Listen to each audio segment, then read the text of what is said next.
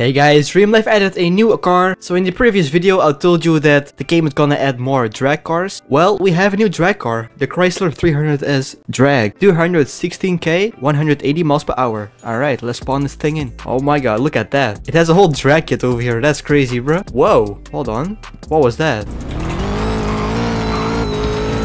Okay, that supercharger is... I don't know man. Weird? Why is it so high pitched? Well anyways, let's just upgrade the car and see the top speed. Let me think, I think it was over here somewhere. No it wasn't, no it wasn't. It's crazy how this map has been existing for like a month now and I still don't know it. I still don't know how to navigate in this map. Oh wait, I remember this part though. So it should be right here. Yes sir, yes sir. That's kinda sad that I still don't know the map locations. Anyways, let's upgrade it. Oh, it has a carbon hood as well. And the roof? I thought it was just black, but it's carbon. Look at that. Sweet, okay. What color should we paint this? Like, I don't know. What is a cool color for this? Um, they don't really have a dark gray in this. It's kind of sad. I want to make it very dark gray, but it's not there. Alright, let's just pick this color. It's the darkest gray in the game. I'd say we just go to the drag strip and we test it out. Because I'm in a public server now, so I should be able to race some people. But while we're driving there, let's do a top speed run first. Alright, here we go, here we go.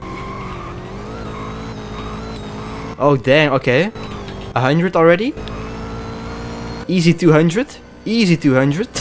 210 miles per hour. Okay, that's pretty quick. And it got there pretty quick as well. Okay, so let's go to the drag strip over here. Come on, guys. Enter the race. Come on. Scared? Oh, yes. Okay. Where's my opponent? Okay. Oh, there he is. Wait, what?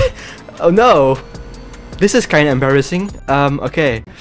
Well, anyways, it's still a pretty good car, so I'm not that mad. Dang, so that must be the Draghawk. That's one heck of a car, bro. Must be this one. Look what I just discovered. If you rev at full RPM and then go in first gear, you're actually flying. Look at that. It doesn't always work, but...